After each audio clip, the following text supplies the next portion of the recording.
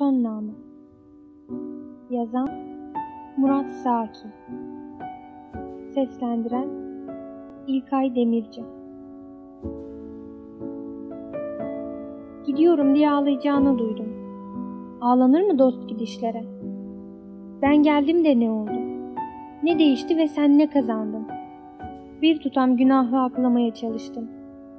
Prometre değilim ben. Acıya yüksünemem. Ama zayıf bir yanı vardır acının, gözlerinin ıslanmamış dehlizlerinden geçen.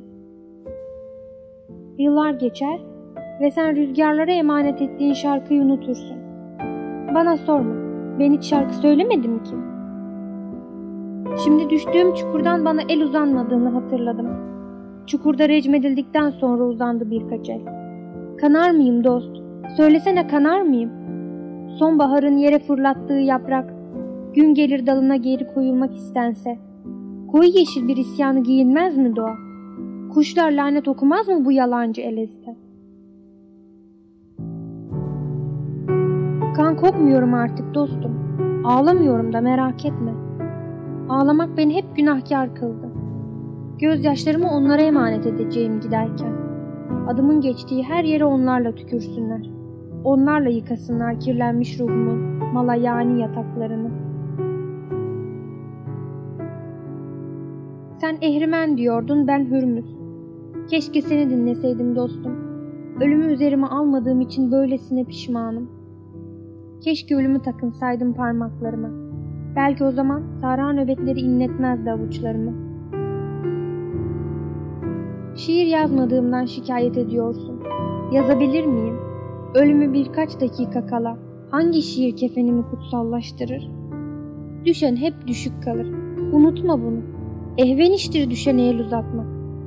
Ama topuklarımızla tekmelemeliyiz onları hep. Yoksa ayaklarımızdaki kiri nasıl caiz kılarız? Evet dostum. Eğer sen kaburgası kırılmış bir adamın isyanı kadar cehennemsiysen, alkış seslerine aşina değildir yadırganan ruhun. Ama cehennemsi olanlar hep cennete rağm olanlardır. Bunu sakın unutma. Seni anlamayacak.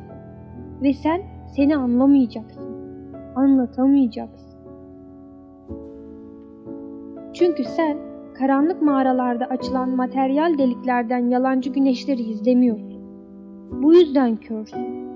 Körler ülkesindeki en güzel taht yavan kalbinindir. Yalan ve günah, iki siyah ok. Saplandığı yerde bembeyaz bir tövbe izi bırakır. Robin Hood vurduğu her alında bir isyan bayrağı açtırmıştır. Oku tutan el ile yayı geren kalp aynı bedenin organlarıysa var git yoluna. Dünyayı ayaklarının altına alıp raks ettirebilirsin.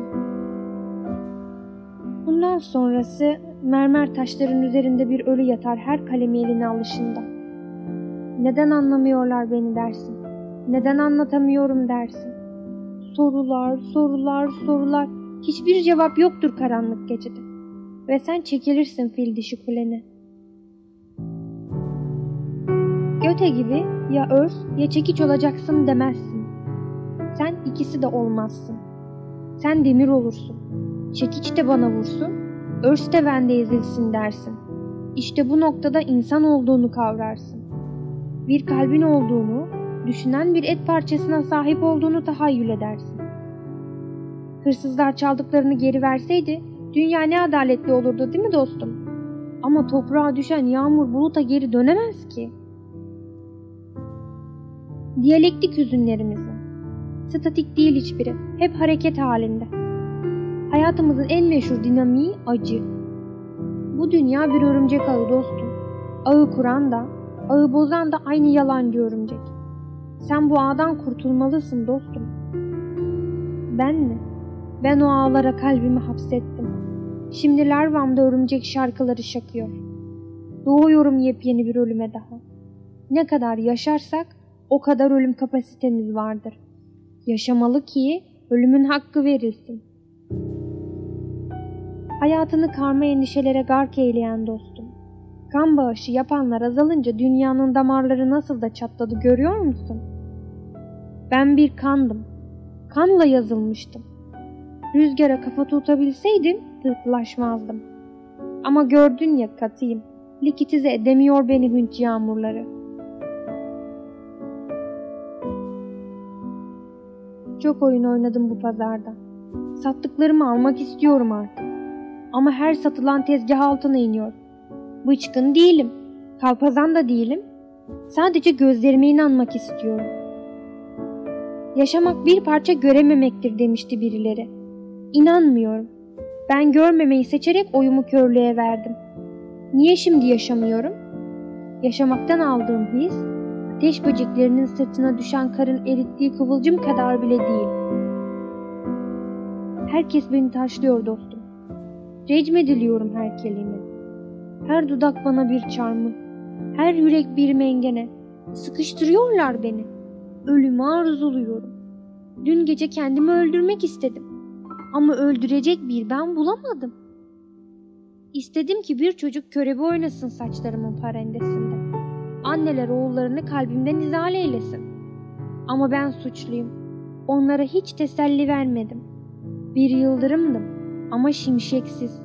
Çatırdadım ama parıldayamadım. Artık gidiyorum. Hicretine adaklar adamıştım acının. Günahların en temizi kalbin nadimi olduklarıdır. Ben bir münadiyim dostum. İnsanlara sağırım, kalplere kör. Herkes bir parça hayat. Bense bütünüyle ölüm. Hayatın en tarihsel paradoksuyum. Kimse beni giyinemez. Çünkü beni giyinenleri tedavi edecek bir terzi yok. Şimdi çıkarın üstünüzden benden kalan hatır libaslarını. Bensiz çıplak kalsanız da benle örtülü değilsiniz ki zaten. Ölmek çıplaklaşmaktır dostum. Yaşamak kalıplaşmak. Şimdi ben ikisi arasındayım. Bir arafta kendime ağlıyorum ve yanımda kan çiçekleri. Soluyoruz.